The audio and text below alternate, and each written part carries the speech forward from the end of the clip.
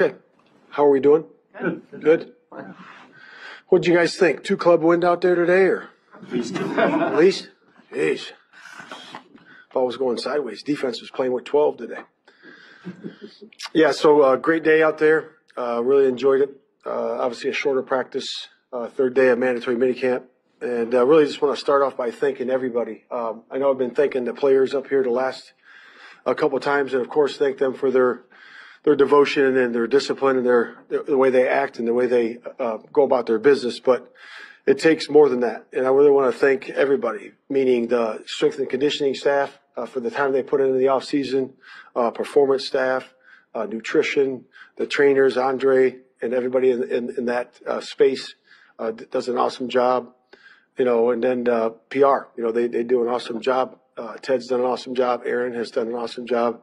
And uh, really just, uh, you know, supporting everybody and making sure it's always going to be about our players. You know, the players here come first, and uh, our resume is the players, and how they perform is, is, is how we perform. So it's, uh, it's everybody's all in on that, and I really appreciate that. The heart of service that every staff member has to be able to pull this off and bring these guys together in such a way that's going to be special, and uh, really excited about that. Um, you know, so uh, injuries again. They had some guys sit out, just precautionary. Uh, we don't see anything that's uh, a serious issue, so that's that's how far I'll go with that at this time. I also do want to announce a joint practice uh, with the Cincinnati Bengals on 8:15. All right, uh, that's on a Thursday, and it'll be at one o'clock. So we are having one practice together. Uh, Zac and I have already visited about the, what that practice looks like, um, logistics in terms of location and and moving people around and, and really getting a lot out of that practice. So um, this is the first time that I've done one day practice, and again, that he brought that idea to me, and uh, so I thought it was really good. Um, and we worked on the uh, face of it, and I think it's going to be awesome. So, um, and with that, I'll open to questions. Here? Is the Cincinnati practice here? Is it? Absolutely. Yep. I thought it was common sense. We're playing here on Saturday. I mean, let's shoot. You you did two days obviously last year. What is the kind of pros and cons of, of trying to squeeze work into one day as opposed to two like you did? Yeah, I I think it's good. Like I said, it's my first time, so I do believe that it's good. We are hitting all the situations uh, that day, uh, so I think it'll be really good. Uh, uh, you know, it's going to be interesting to work like the special teams aspect of it. You know, with the kick games changing, you know, and the kickoff, kickoff return, and all that. Uh, so that's going to be good. It really will, and uh, it'll be a really solid practice. What does Caleb get out of a short practice like this? What are you looking for when you guys aren't doing a ton of work? Yeah, uh, just uh, working really in red zone today. You know, so I thought it was uh, it was better uh, than the first time we were in the red zone. Uh, I think it was last week maybe, and uh, him understanding the concepts and where it is. Again, it was windy today, so there were some balls that were flying a little bit uh, wayward, but I thought for the most part I did a nice job. new twist uh, to start 11 on 11 with the, with the trick play out there. Yeah, why not? Why not? Let's go. That's right. We got several of them. As you, as you say goodbye to your veterans for summer break here, where's the team compared to, uh, maybe the last two years when you? Yeah, like every team's different. We all know that, and the roster's changed significantly. Um, you know, and the, and the players that we drafted, we've drafted well, and we've developed players. You know, through time on task, uh, through experience and exposure. Uh, you can name a bunch of guys that have had that and are really raising their game, and they got to do that again. You know, so players that are in their second year got to be better in their third, and so forth and so on. So uh, the roster is different. Um, you know, uh, we're in a different spot. You know, in terms of you know, all the way from the top. You know, so Ryan and I are in a different spot. We know what we're looking for. We know how we're doing it. We've had the experiences together of building this uh, roster together, building this football team. So it's uh, it's in a different spot for sure. Talked about how, you know, it's gonna be really hard to make this team.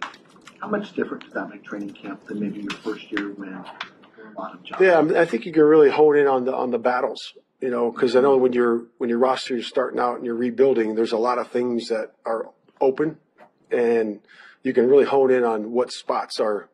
This is uh really a competition spot with this particular player and that particular player, and that we still have a few spots there. Of course, you know the roster's never perfect; it's never finalized, but you know we'll be uh, looking at that as we go. What jumps out at you as the battles that you're gonna, you're really interested in? Yeah, I mean, uh, I'm not going to get into the details of that. I mean, you can certainly pick those spots, uh, you know, looking at the roster, but, uh, we'll talk about those things as we have our personnel meeting today and then keep working on those. Liz, to, to this stage, where do you think your offense has, it's seven on seven, whatever, but where has it improved the most at this stage?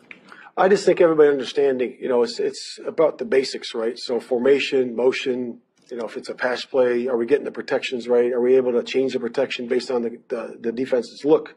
And then the pass concepts, you know, from, you know, all the way through the gamut of movement passes to quick pass to drop back to screen game to everything that everybody has. So it's just going through that process.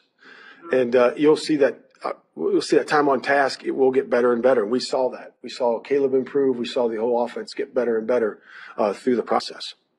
Sorry, is, is there any player that jumped out at you that's like, whoa, I'm impressed that he's reached this level, rookie and or vet? Yeah, I would say uh, Rome. Rome really impressed us, you know, in terms of his ability to grab concepts and really execute out there, um, for sure. But again, there's a lot of guys that impressed us. Did Kyler get hurt in practice yesterday? Kyler Gordon, did he get injured in practice yesterday? Um, I don't know if it was in practice or not. Um, it's not a serious thing. I know that he woke up with what he had, but uh, it, it's uh, it's low back, so it's just uh, we'll see where it is. Matt, what, Matt, what are you hoping to get out of next week? Like, how's that all gonna work next week? Will you can have enough guys to practice? Yeah, it's it's kind of like a uh, quarterback school type of thing. You know, we're working with the skill players on uh, the rookie skill players that we have, um, and then Caleb will be still be here, and same thing on defense. And it's just about uh, relearning, reinstalling, and then really setting uh, the game plan for the summer plan.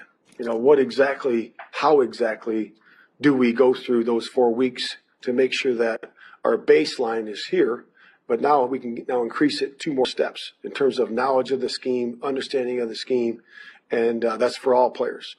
Uh, so we're going to really go through that with those players um, in detail uh, through the three days. We'll be here Monday, Tuesday, and Wednesday. So we'll do that. Is it exclusively rookies, or do you think, would there be some non-rookies? just rookies. In terms of Caleb, uh, it's only been a couple practices against the first team secondary, but how have you seen him adjust and, and progress against the NFL speed of, of the secondary?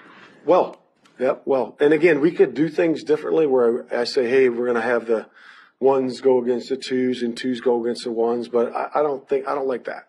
I don't like it. I think that Caleb is a talent, uh, a very good talent, and his game will go to where it needs to be. Cause that's, I want him to see that in front of him, the windows closing, the, the variation of what we do on defense.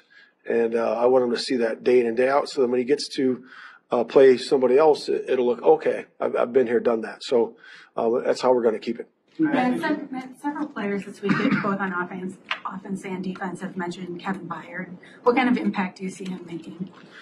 Uh, he's special, uh, just in terms of a leader. Um, people respect him because of the man he is. Um, and he's been uh, a devoted guy to this game for a long time. And you can really feel that. I mean, that's palpable. You can feel the love of the game that he has. Um, and he's very respectful. Um, you know, he's like a coach on the field. And he's got really good ball hawking ability. That's why I like him a lot. So. Eleven on eleven with Ca- like with Caleb in those situations, can you gauge just like how that situation is speeding up when he is going against the pass rush? I know it can't hit him, but like, Right. um, can you gauge where his processing is at right now? I think so, to some degree. I really believe you can. Uh, but it's going to look much different when we get back into training camp, you know, because, you know, the, now we got the pads on, now we have the rushers rushing. And again, if they win, they're going to work away from the quarterback, but he'll be able to feel that a little bit more.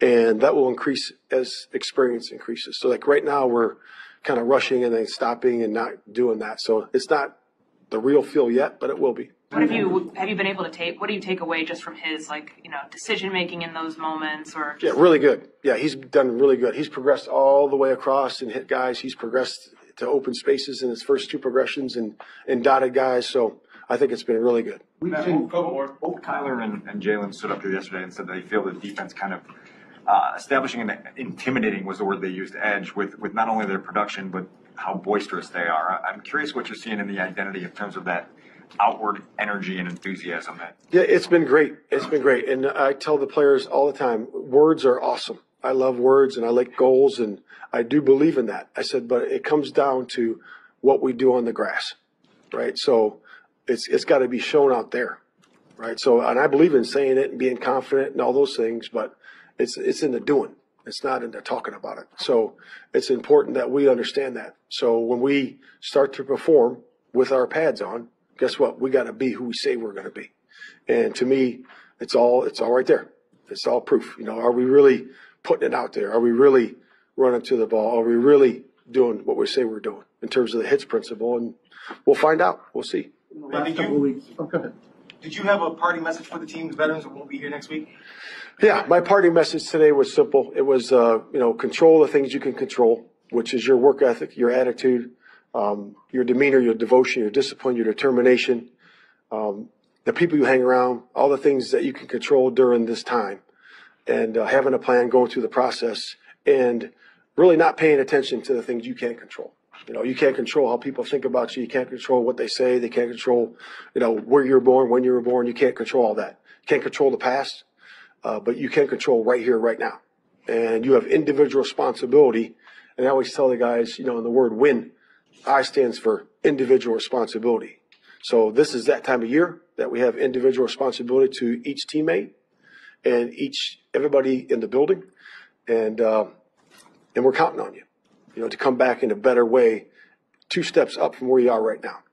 So that was the main message. In the last, in the last couple of weeks, we've seen Caleb at Sky games, Cubs games, Sox games. Realize not all of those things are team sponsored, but is there something that the organization likes about getting the players out to go see other teams in town?